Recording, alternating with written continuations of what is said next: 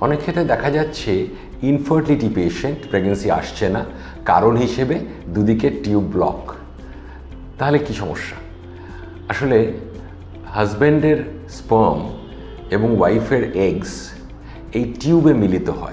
সেখানেই বাচ্চাটা জন্ম শুরু করে। তারপর সে ইউট্রাসের মধ্যে এসে আরও বাড়ে। অর্থাৎ যদি টিউব ব্লক থাকে, তাহলে কিন্তু এই এগ এবং স্পম অর্থাৎ বীর্য এবং ডিম্বাণু মিলিত হতে পারছে না।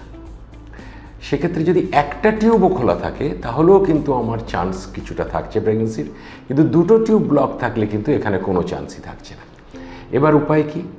এক হতে পারে যে আইভিএফ পদ্ধতি মানে টেস্ট টিউব পদ্ধতিতে আমরা স্পার্ম আর ওভমকে বাইরে ল্যাবরেটরিতে মিলিত করে ইউট্রাসের মধ্যে সেই ভ্রূণকে উপস্থাপন করলাম।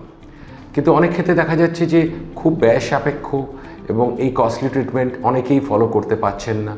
দ্বিতীয়ত, কখনোই বন্ধাত্ম চিকিৎসায় গ্যারান্টি দিয়ে করা যাবে না। সেই কারণে আমরা একটা দ্বিতীয় পদ্ধতি নিতে পারি, যেটা অনেক ইকোনমিক্যাল আমরা টিউব ব্লকটা খোলার অপারেশন করতে পারি। এটা পেট কেটে অপারেশন আজকাল দরকার হয় না। আজকাল ল্যাপারোস্কোপি বা মাইক্রো পদ্ধতিতে এটা করা যেতে পারে।